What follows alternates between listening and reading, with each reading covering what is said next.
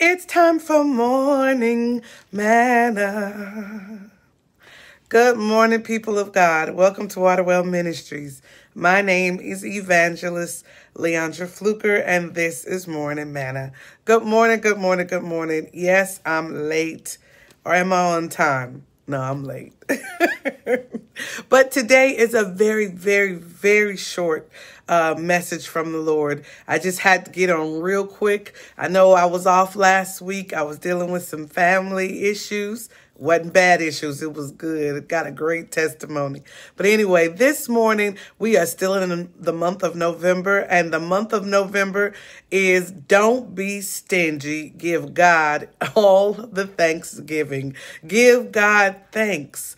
Give give God thanks for everything. The fact that you woke up this morning. Give God the, give God thanks that you made it to your job this morning. Give God thanks that you that you have the uh, faculties of your mind. Just give God thanks.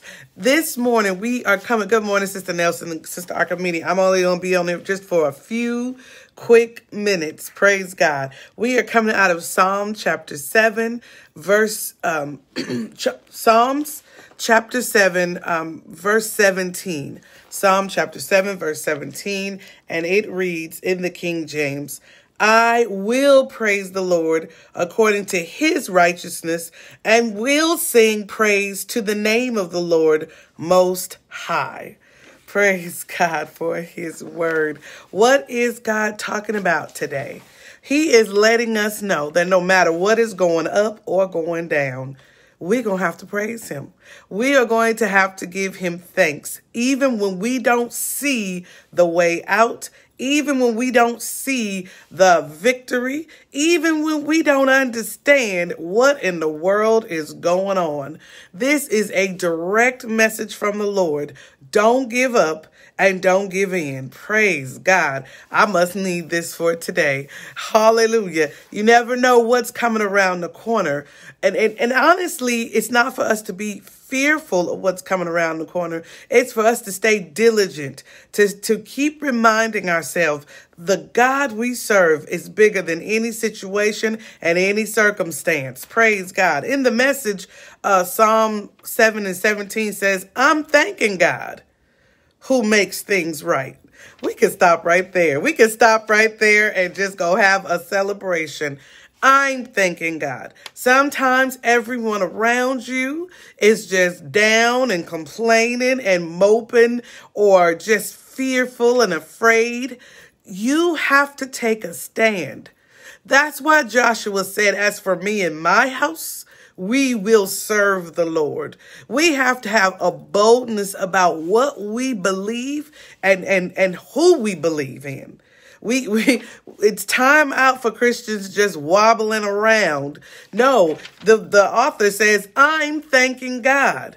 Now, even when it don't look like I should be thanking God, I'm thanking God. Even when it looks like things aren't going well, I'm thanking God. Why? Because he makes things right.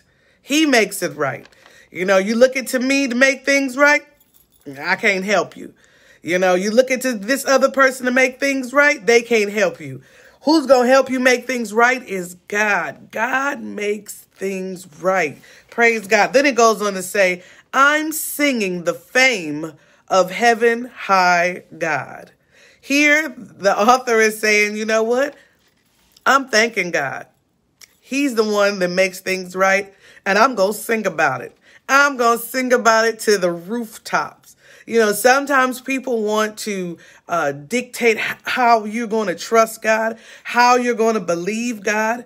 You know, they say, well, you, you need to just give up or this is just ridiculous. You know, you're, you're being foolish. Ah, it's the foolish things of this world that confounds the, those so-called wise people. So we, we want to be wise in the Lord. We want to be wise in the Holy Spirit. God is warning us today, not, not something down the road. He's warning today to keep your focus on him. Don't worry about what someone says or what they do. They're not the ones that's going to fix the situation and turn it around.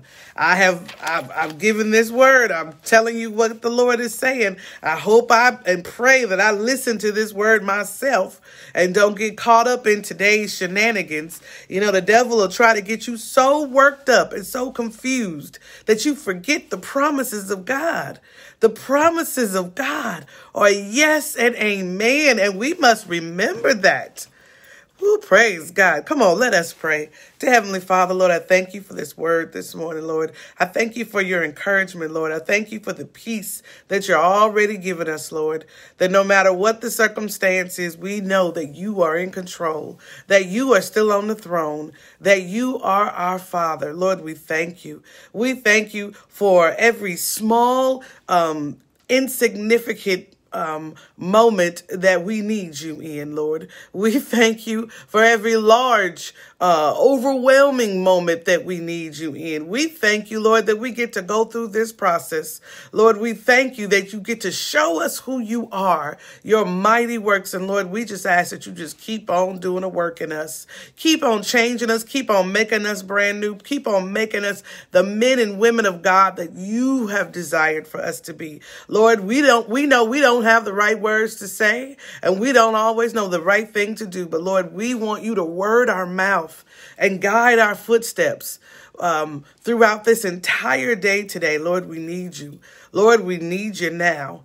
This we pray in the name of Jesus. Amen. That was my alarm. All right, people. Praise God. Um, this has been a beautiful month so far.